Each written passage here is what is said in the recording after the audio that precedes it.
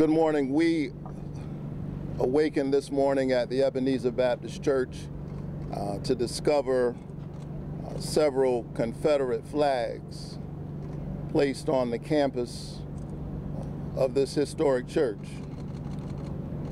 the Church of Martin Luther King Jr.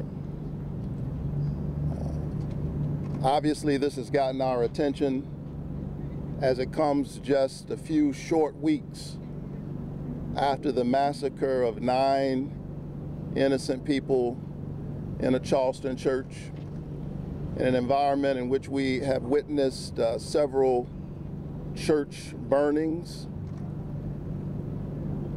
and at a time in which we are witnessing the killing of unarmed citizens by police and the response in the Black Lives Matter movement.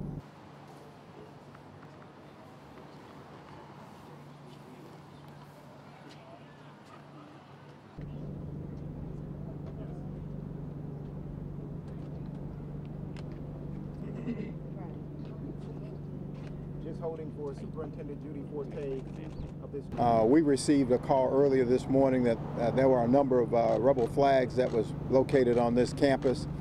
We secured those uh, flags uh, with the National Park Service.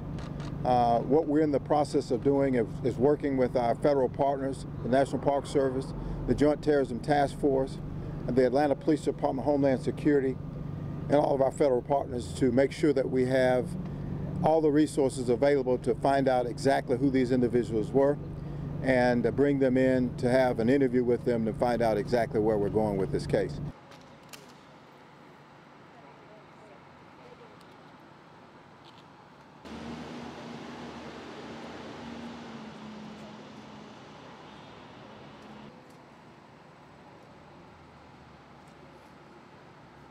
We, we're reviewing uh, the surveillance video that was uh, that's here on the campus.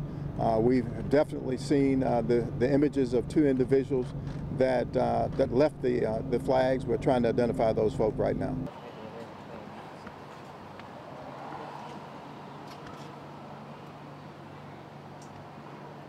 to place Confederate flags on the campus of Ebenezer Baptist Church. After this horrific act in Charleston, in the wake of all that's happening in our country, whatever the message was, it was clearly not about heritage, it was about hate. And so uh, we will remain vigilant uh, on this issue uh, because not only is it about hate, it is clearly a statement of, uh, it is the kind of statement that we would characterize as a terroristic threat.